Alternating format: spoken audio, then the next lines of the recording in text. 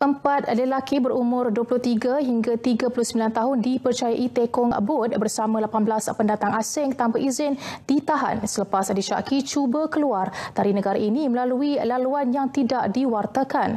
Penahanan hasil Ops Gelora pasukan polis Marin Wilayah 2 di Sungai Pulai Iskandar Puteri Johor, Johor Bahru Jumaat lalu. Komander Pasukan Polis Marin Wilayah 2, Assistant Commissioner Paul Q. Konchiang menerusi satu kenyataan berkata sindiket berkenaan dipercayai aktif sejak awal bulan ini. Dalam kejadian 10.30 minit malam itu, dua bot peronda PPM berjaya menahan empat bot yang dibawa suspek bersama parti tersebut. Kes disiasat mengikut Akta Anti Pemerdagangan Orang dan Penyeludupan Migran 2007 serta Akta Imigresen 1959 Palang 63 kurungan pindaan 2002. Sindiket tersebut dipercayai masih lagi bergiat aktif dan sakibaki sindiket masih diburu.